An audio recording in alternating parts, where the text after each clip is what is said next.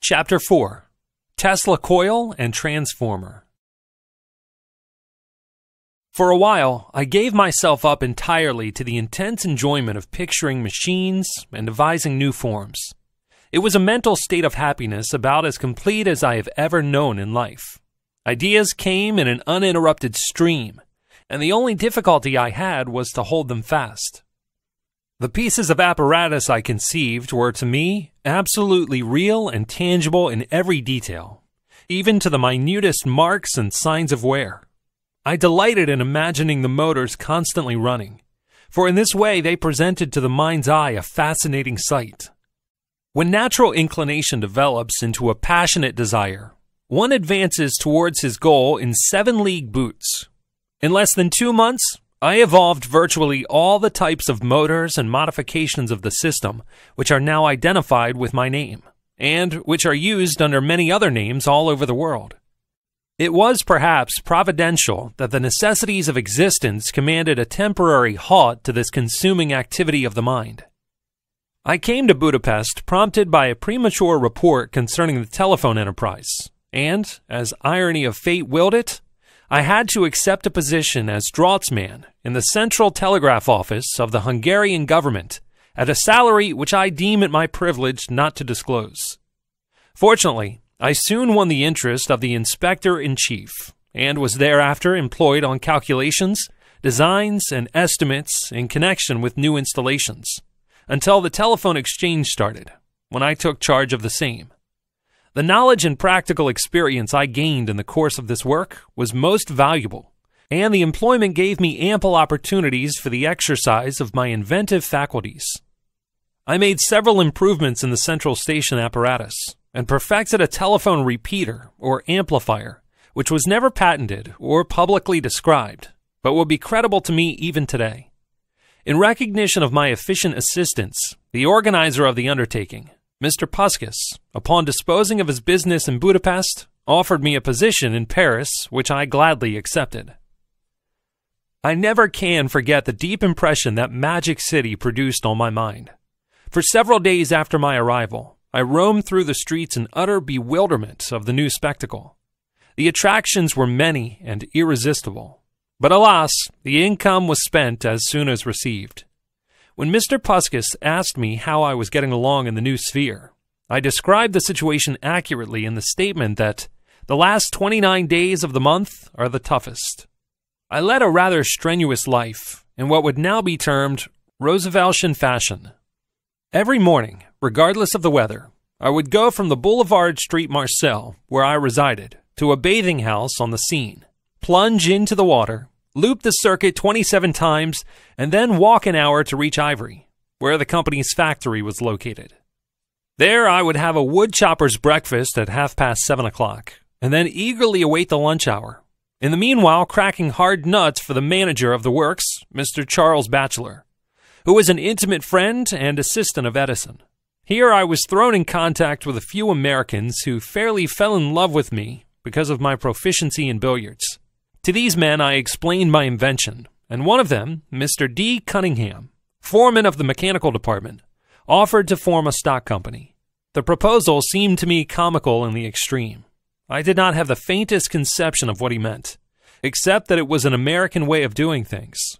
Nothing came of it, however, and during the next few months, I had to travel from one place to another in France and Germany to cure the ills of the power plants.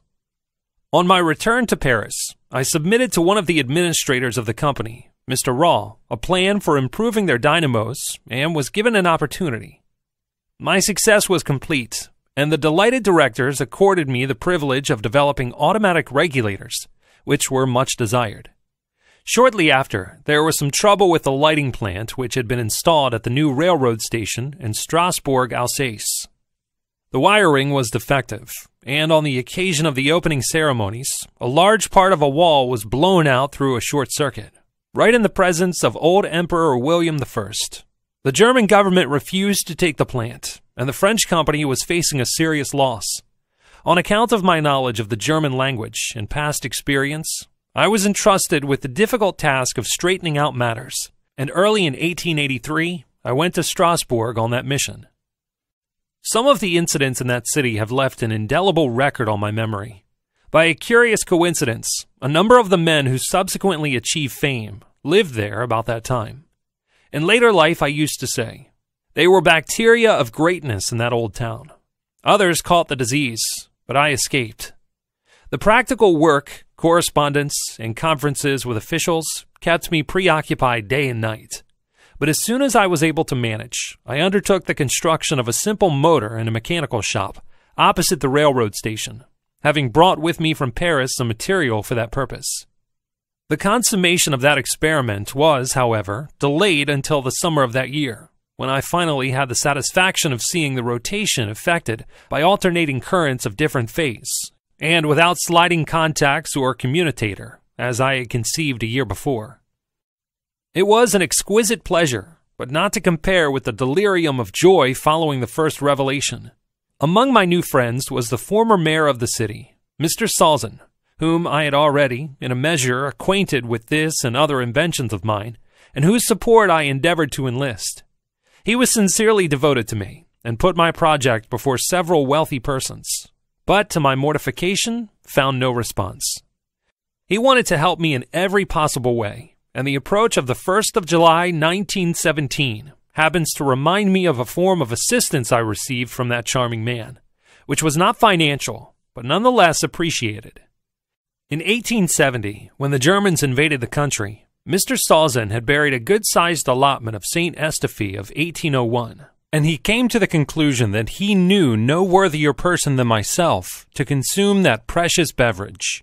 This, I may say, is one of the unforgettable incidents to which I have referred. My friend urged me to return to Paris as soon as possible and seek support there. This I was anxious to do, but my work and negotiations were protracted, owing to all sorts of petty obstacles I encountered, so that at times the situation seemed hopeless. Just to give an idea of German thoroughness and efficiency, I may mention here a rather funny experience. An incandescent lamp of 16 CP was to be placed in a hallway, and upon selecting the proper location, I ordered the monteur to run the wires. After working for a while, he concluded that the engineer had to be consulted, and this was done. The latter made several objections, but ultimately agreed that the lamp should be placed two inches from the spot I had assigned, whereupon the work proceeded. Then the engineer became worried and told me that Inspector Averdeck should be notified. That important person was called. He investigated, debated, and decided that the lamp should be shifted back two inches, which was the place I had marked. It was not long, however, before Averdeck got cold feet himself and advised me that he had informed Ober Inspector Hieronymus of the matter and that I should await his decision. It was several days before the Ober Inspector was able to free himself of other pressing duties, but at last he arrived, and a two hour debate followed, when he decided to move the lamp two inches further. My hopes that this was the final act were shattered when the Ober Inspector returned and said to me, Regierungsrath Funk is particular that I would not dare to give an order for placing this lamp without his explicit approval. Accordingly, arrangements for a visit from that great man were made. We started cleaning up and polishing early in the morning, and when Funk came with his retinue, he was ceremoniously received. After two hours of deliberation, he suddenly exclaimed, I must be going. And pointing to a place on the ceiling, he ordered me to put the lamp there. It was the exact spot which I had originally chosen. So it went day after day with variations, but I was determined to achieve, at whatever cost. And in the end, my efforts were rewarded. By the spring of 1884, all the differences were adjusted, the plant formally accepted, and I returned to Paris with pleasing anticipation. One of the administrators had promised me a liberal compensation in case I succeeded, as well as a fair consideration of the improvements I had made to their dynamos, and I hoped to realize a substantial sum. There were three administrators, whom I shall designate as A, B, and C for convenience. When I called on A, he told me that B had the say. This gentleman thought that only C could decide and the latter was quite sure that A alone had the power to act. After several laps of this circulus vitiosus, it dawned upon me that my reward was a castle in Spain. The utter failure of my attempts to raise capital for development was another disappointment, And when Mr. Batchelor pressed me to go to America with a view of redesigning the Edison machines, I determined to try my fortunes in the land of golden promise. But the chance was nearly missed. I liquefied my modest assets, secured accommodations, and found myself at the railroad station as the train was pulling out. At that moment, I discovered that my money and tickets were gone. What to do was the question. Hercules had plenty of time to deliberate, but I had to decide while running alongside the train with opposite feelings surging in my brain like condenser oscillations. Resolve, helped by dexterity, won out in the nick of time, and upon passing through the usual experience, as trivial and unpleasant, I managed to embark for New York with the remnants of my belongings, some poems and articles I had written, and a package of calculations relating to solutions of an unsolvable integral and my flying machine. During the voyage, I sat most of the time at the stern of the ship, watching for an opportunity to save somebody from a watery grave, without the slightest thought of danger. Later, when I had absorbed some of the practical American sense, I shivered at the recollection and marveled at my former folly. The meeting with Edison was a memorable event in my life. I was amazed at this wonderful man who, without early advantages and scientific training, had accomplished so much. I had studied a dozen languages, delved in literature and art, and had spent my best years in libraries reading all sorts of stuff that fell into my hands, from Newton's Principia to the novels of Paul de Kock, and felt that most of my life had been squandered. But it did not take long before I recognized that it was the best thing I could have done. Within a few weeks, I had won Edison's confidence and it came about in this way. The SS Oregon, the fastest passenger steamer at that time, had both of its lighting machines disabled, and its sailing was delayed. As the superstructure had been built after the installation, it was impossible to remove them from the hold. The predicament was a serious one, and Edison was much annoyed. In the evening, I took the necessary instruments with me and went aboard the vessel where I stayed for the night. The dynamos were in bad condition, having several short circuits and breaks, but with the assistance of the crew, I succeeded in putting them in good shape. At five o'clock in the morning, when passing along Fifth Avenue on my way to the shop, I met Edison with Batchelor and a few others, as they were returning home to retire. Here's our Parisian running around at night, he said. When I told him that I was coming from the Oregon and had repaired both machines, he looked at me in silence and walked away without another word. But when he had gone some distance, I heard him remark, Batchelor, this is a good man. And from that time on, I had full freedom in directing the work. For nearly a year, my regular hours were from 10:30 a.m. until 5 o'clock the next morning, without a day's exception. Edison said to me, I have had many hard-working assistants, but you take the cake. During this period, I designed 24 different types of standard machines with short cores and uniform pattern, which replaced the old ones. The manager had promised me $50,000 on the completion of this task, but it turned out to be a practical joke. This gave me a painful shock, and I resigned my position. Immediately thereafter, some people approached me with the proposal of forming an arc light company under my name, to which I agreed. Here, finally, was an opportunity to develop the motor. But when I broached the subject to my new associates, they said, No, we want the arc lamp. We don't care for this alternating current of yours. In 1886, my system of arc lighting was perfected and adopted for factory and municipal lighting, and I was free, but with no other possession than the beautifully engraved certificate of stock of hypothetical value. Then followed a period of struggle in the new medium for which I was not fitted, but the reward came in the end. And in April 1887, the Tesla Electric Company was organized providing a laboratory and facilities. The motors I built there were exactly as I had imagined them. I made no attempt to improve the design, but merely reproduced the pictures as they appeared to my vision, and the operation was always as I expected. In the early part of 1888, an arrangement was made with the Westinghouse Company for the manufacture of the motors on a large scale.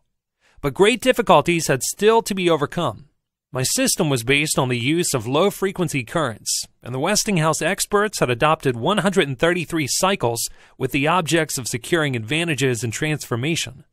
They did not want to depart with their standard forms of apparatus, and my efforts had to be concentrated upon adapting the motor to these conditions.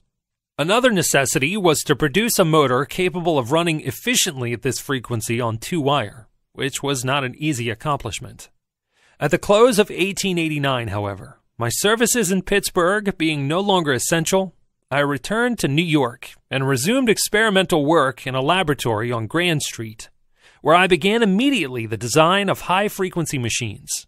The problems of construction in this unexplored field were novel and quite peculiar, and I encountered many difficulties. I rejected the inductor type, fearing that it might not yield perfect sine waves, which were so important to resonate action. Had it not been for this, I could have saved myself a great deal of labor. Another discouraging feature of the high frequency alternator seemed to be the inconstancy of speed, which threatened to impose serious limitations to its use. I had already noted in my demonstrations before the American Institution of Electrical Engineers that several times the tune was lost, necessitating readjustment, and did not yet foresee what I discovered long afterwards a means of operating a machine of this kind at a speed constant to such a degree as not to vary more than a small fraction of one revolution between the extremes of load. From many other considerations, it appeared desirable to invent a simpler device for the production of electric oscillations. In 1856, Lord Kelvin had exposed the theory of the condenser discharge, but no practical application of that important knowledge was made. I saw the possibilities and undertook the development of induction apparatus on this principle. My progress was so rapid as to enable me to exhibit at my lecture in 1891 a coil giving sparks of 5 inches. On that occasion, I frankly told the engineers of a defect involved in the transformation by the new method, namely, the loss in the spark gap. Subsequent investigations showed that no matter what medium is employed, be it air, hydrogen, mercury vapor, oil, or a steam of electrons, the efficiency is the same. It is a law very much like the governing of the conversion of mechanical energy. We may drop a weight from a certain height vertically down, or carry it to the lower level along any devious path. It is immaterial insofar as the amount of work is concerned. Fortunately, however, this drawback is not fatal, as by proper proportioning of the resonant, circuits of an efficiency of 85% is attainable. Since my early announcements of this invention, it has come into universal use and wrought a revolution in many departments, but a still greater future awaits it. When in 1900 I obtained powerful discharges of a thousand feet and flashed a current around the globe, I was reminded of the first tiny spark I observed in my Grand Street laboratory and was thrilled by sensations akin to those I felt when I discovered the rotating magnetic field.